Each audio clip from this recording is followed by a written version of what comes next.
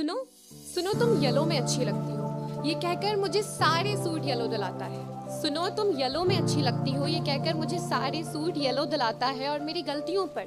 तुम ऐसे ही तो अच्छी लगती हो, कहकर उसे क्यूटनेस बताता है।